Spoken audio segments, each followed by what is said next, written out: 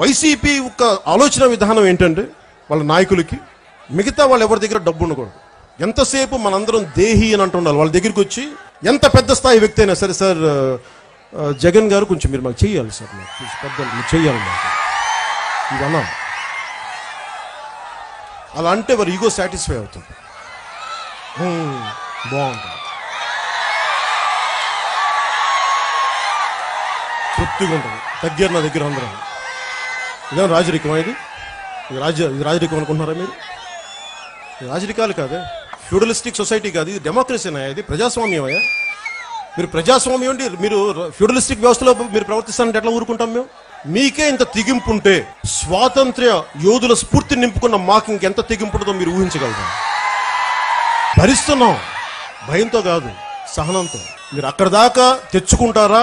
మీరు ఇలాంటి GO two one సెవెన్లో వెనక్కి తీసుకుంటారు మీ చేతుల్లో ఉంది.